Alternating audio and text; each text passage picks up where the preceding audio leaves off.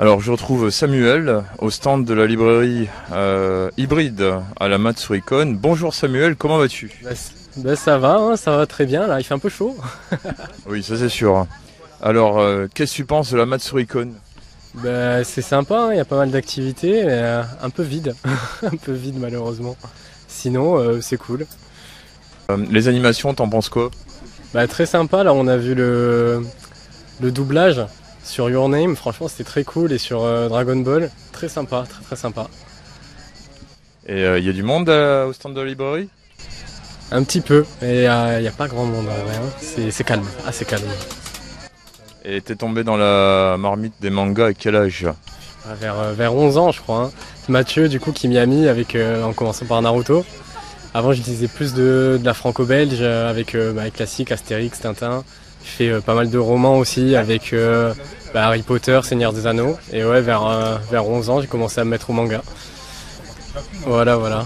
Et tu es plus euh, fantastique, science-fiction, fantasy, horreur? Pas trop horreur, mais après, sinon, euh, en dehors de ça, je lis de tout. Hein. Je lis de tout, fantasy, de tout. Et t'es plus manga ou anime? Plus manga, plus, ouais, plus papier. Et qu'est-ce que tu auras conseillé pour quelqu'un qui débute les mangas? Quelqu'un qui débute les mangas, euh, bah, on va partir sur les classiques, hein. Naruto, euh, voilà les, les, indémonables, Naruto, One Piece.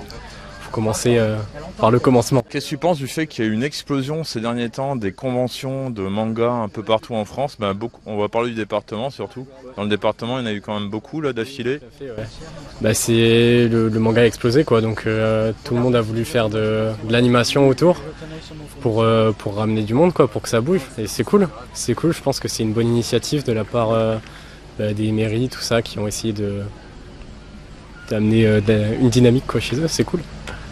Est-ce que tu souhaites rajouter quelque chose à cette petite interview? De toute façon, je te retrouverai euh, un C4 dans la librairie, au froid. Oui, avec la clim, ça sera mieux. Hein.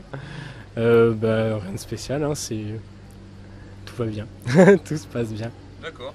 Eh ben, bonne continuation. Merci beaucoup. Merci. À la prochaine.